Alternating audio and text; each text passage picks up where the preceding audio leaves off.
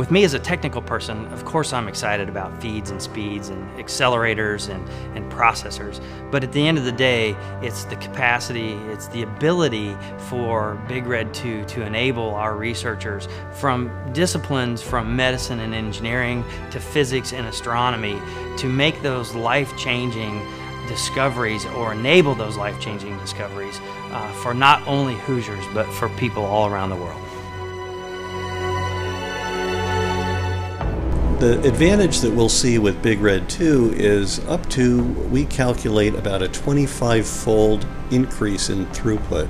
So, for example, uh, an analysis of human genome alignment that would take 197 days, we now project to complete in eight days.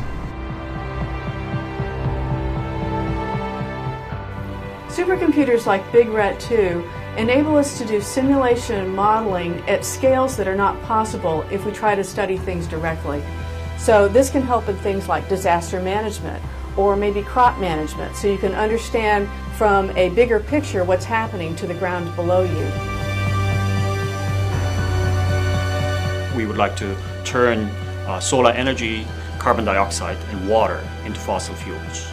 Um, and so um, this is a technology that will provide a solution to the energy crisis that we have currently. And with the new supercomputer coming online, we're very excited because we can now um, not only carry out our research more efficiently, but we can um, now do calculations that we were dreaming about doing that we couldn't do because the computers weren't just um, fast enough.